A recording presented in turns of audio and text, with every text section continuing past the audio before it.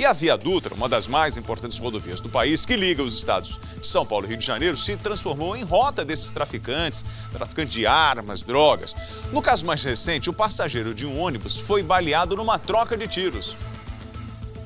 O ônibus não chegou ao destino. Anderson da Cruz, de 44 anos, não chegou em casa. Ele era um dos passageiros do coletivo assaltado da rodovia Presidente Dutra. A Polícia Rodoviária Federal cercou o ônibus e trocou tiros com criminosos. Um ladrão também morreu no tiroteio e outro acabou preso.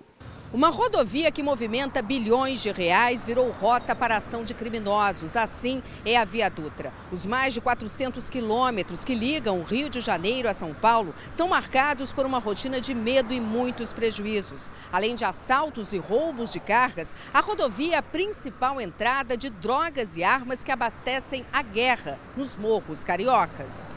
O grande desafio da Polícia Rodoviária Federal é a Dutra, não só pela questão dos criminosos, mas por ser a principal via expressa do país. Ela liga as duas maiores metrópoles nacionais e o fluxo econômico dele é muito grande e o fluxo populacional também. É no meio desse intenso movimento que criminosos tentam transportar armas e drogas despercebidos. Numa outra blitz da Polícia Rodoviária em Queluz, São Paulo, um carro tentou fugir do cerco policial e houve perseguição por 40 quilômetros. Os bandidos abandonaram o veículo em Resende, no sul do Rio, e fugiram.